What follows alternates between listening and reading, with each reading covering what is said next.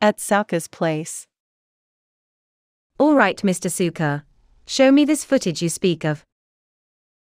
Okay. Just need to sign into my laptop and. That should do it. Alright, now that you're out here, square up Sauka. What is this about? Why are you doing this Soro? Ah, just shut up.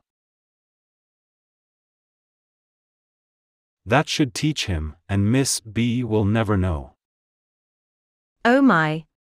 Mr. Soro did beat you up. I am so sorry for not believing you the first time. No, no. There's no need for an apology, Miss B. I forgive you. Oh? That is a relief, thank you, Mr. Suka. Now, let's go get that lion Soro Shida. Indeed, we shall go. This ends once and for all. Thank you for watching.